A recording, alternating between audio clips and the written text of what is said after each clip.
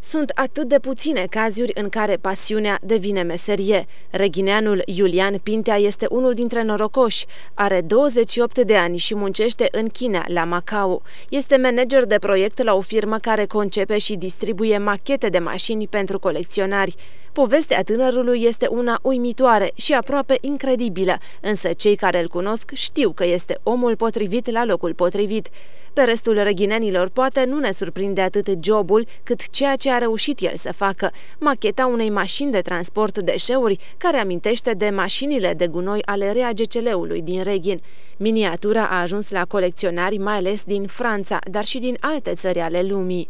Uh, da, a fost o, o ambiție, pot să spun așa. Clientul care a cerut această machetă nu a avut niciun fel de pretenție legat de aspectul machetei.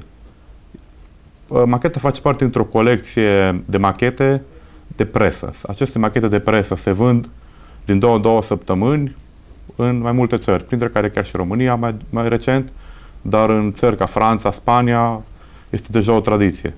Sarcina lui Iulian în firmă este de a reda cât mai fidel mașinile adevărate, la o scară mult mai mică, așa că și în modelul acesta s-a inspirat din realitate. Dorința lui a fost de a arăta că a rămas cu sufletul în orașul natal.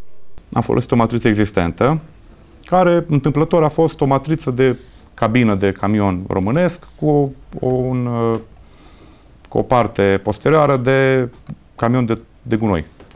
Cum am zis, pentru că clientul nu a avut niciun fel de, de cerințe legat de aspectul ei. A spus doar să fie camion roman, atât a cerut. Bun, păi hai să facem roman. Și am făcut exact cum mi-am, mi-am, amintit, mi-am amintit eu că arătau un camion care venea la mine în cartier, în Libertății și lua containerele. Încă de mic i-au plăcut jocurile pe calculator cu mașini. A dezvoltat o pasiune pentru autovehicule și le-a pozat pe toate cele inedite care i-au ieșit în cale. După ce a devenit colecționar de auto în miniaturi, a contactat o firmă din China care le realizează. Pur și simplu eram un client care cumpăra aceste modele pentru el. Eu sunt am început să colecționez modelele astea de vreo 3-4 ani.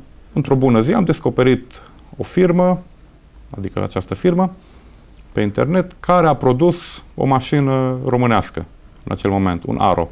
Produsese o machetă de Aro. Dar acea machetă avea multe greșeli. Și întâmplător am zis că hai mă să, să le dau un e-mail.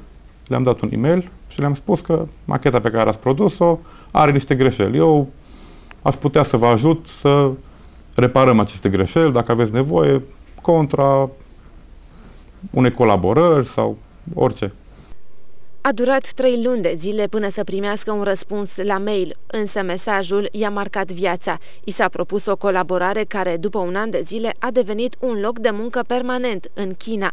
Dar mai multe despre pasiunea devenită meserie și viața într-o civilizație în care tehnologia era loc de cinste, aflați urmărind emisiunea Regin Exclusiv, duminică de la ora 21.